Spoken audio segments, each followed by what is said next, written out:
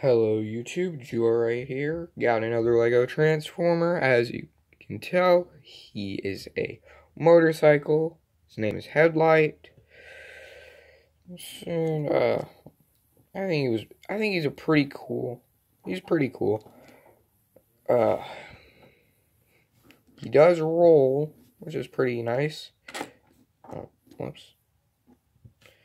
He, uh, cannot really he can sort of stand up in uh, bike mode, but he can't stand up at all in uh, robot mode. It'll become pretty apparent why uh, later.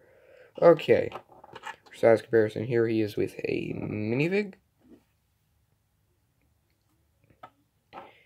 And here he is with Plasmord. Okay. Not much more to them, so let's just get into the transformation. Transform on what you're going to do is fold down the handlebar. And just split these apart. And then that becomes arms. And there headlight is in robot mode. I'm going to have to be holding this guy up. Like I mentioned er earlier, he cannot stand up in robot mode because of uh, his wheel foot.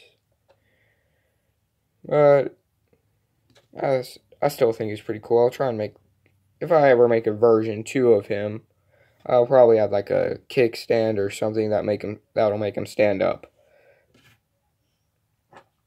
Okay, for size comparison, here he is with a minifig.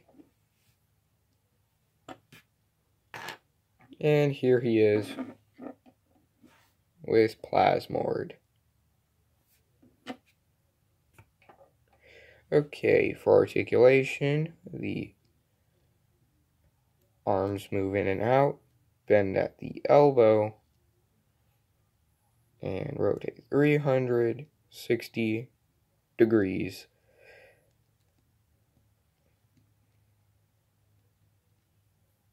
Well, there's not much more to them, so this has been Joyride, signing off.